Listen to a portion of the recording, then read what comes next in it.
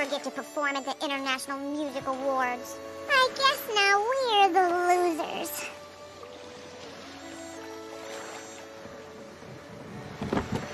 Jeanette, I, I don't know what to say. I guess I was just so obsessed with finding that treasure that I kind of I lost it. And I'm I'm really sorry. We both are. Oh, well, apology accepted. Here, I want you to have this. Oh.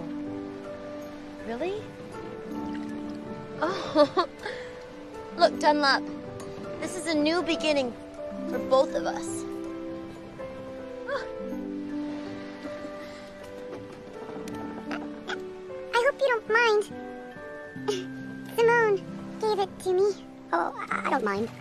You, you know, Jeanette, even the most perfect gem cannot compare to your beauty